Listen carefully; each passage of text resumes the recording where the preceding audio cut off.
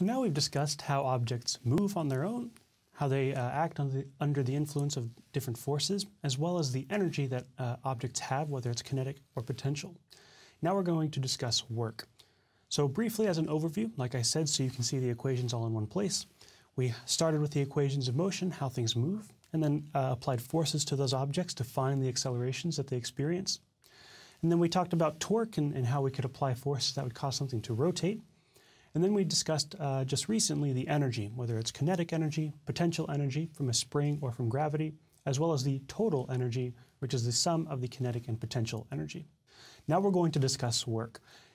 And the idea of work, the concept of work we're going to discuss is sometimes a little bit counterintuitive, so I, I highly recommend for the next few lectures you're very careful, take some notes, and then just really give it some time to sink in and, and, and work over some example problems because there's a lot of uh, things that might be counterintuitive about the idea of work. It's slightly more challenging an idea.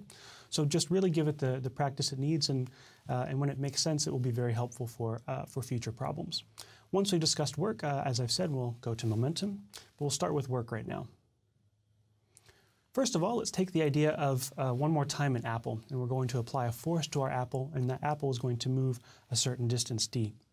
If I took the force, which is, uh, say, 10 newtons as an example, and I applied that force over a certain distance, like 5 meters, if I multiply a force by a distance, it turns out that the units of the force times the distance are units of energy. So we have 50 joules of energy. And what this is saying is that the force that we've applied to our object is giving our object energy. And that's one way to think about what work is. It's trying to tell you how much energy is being given to an object by applying a force to that object. Specifically, we have uh, an equation for force, which is a force times a distance. I also have a, a cosine of theta here. But when you think of work, really what you should think is a force times a distance is an energy. This is the idea you should have in your head for work.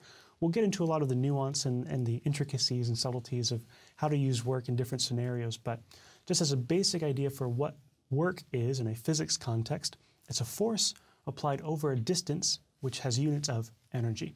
So let's get into some of the details of, of what work is. So work, first of all, the units of, of work, as I mentioned, are units of joules, uh, energy. So if you take a force, kilograms meters per second squared, multiply by a distance, meters, you get kilograms meters squared per second squared, which is our unit for joules. So it is a, a an energy unit. And like energy, work is also a, a scalar. It's just a number. So we will use vectors like the force vector, the arrow, and the distance vector, which is also an arrow, meaning we'll use distances with directions. Uh, but these distances, once we've put them all together to find what work is, then work is just a number. So we'll see that uh, as we go forward. It's just a number like 5 joules or 10 joules or, or something like this.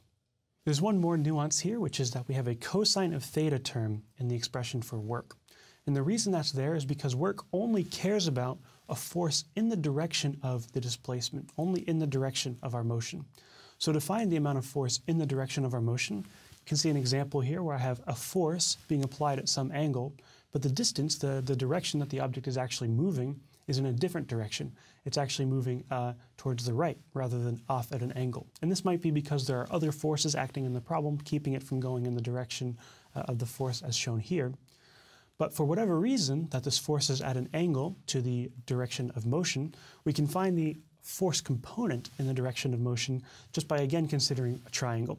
So if you look at the triangle that we formed here with the force and the direction of motion, and we have an angle theta, we can find the component, the horizontal component of the force, by once again taking the magnitude of the force and multiplying by cosine of theta.